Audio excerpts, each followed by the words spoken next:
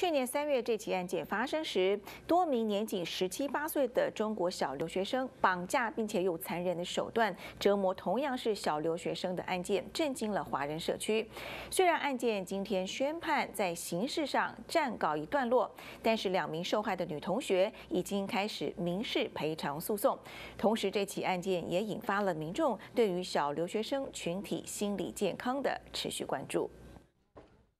这个震惊华人社区的小留学生绑架及虐待案，涉及多名十七八岁的小留学生，甚至还有两名未成年的小留学生牵涉其中。二零一五年三月底，以翟云瑶为主的多名小留学生将受害人刘依然从罗兰岗一家甜品店绑架到罗兰岗公园深处，进行殴打、烟烫、被逼吃头发、吃沙土等近七个小时的虐待折磨。我现在所处的地方就是 Roland High Park，而这里就是翟云瑶。杨雨涵等人对同学刘依然进行长达多个小时虐待的案发地点。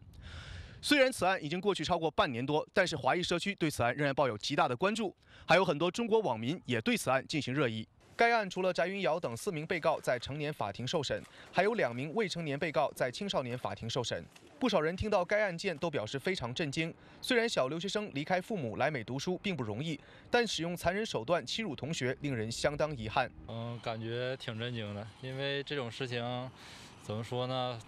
中国人在按按理说，在国外的话，应该是都是都是从国内出来的话，应该互相帮助啊。但是这种事情发生了，感觉很意外吧？我我觉得应该那受法律的制裁，因为就是说这样这样子的行为是不允许的，绝对是不允许的。这已经是呃最低的判决了。然后，如果身边有这样的事情的话，应该多宣传一下，让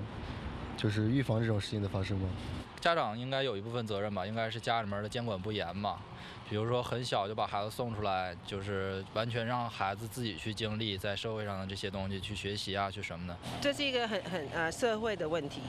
这也是父母亲他呃亲戚家属很严重的问题，因为很多小留学生放在这边，但是都没有父母亲在旁边陪同，那他们的想法，他们的呃那个影响哈，在呃负面的影响，那很很深远的。所以这也要值得我们华人，呃，同胞需要呃，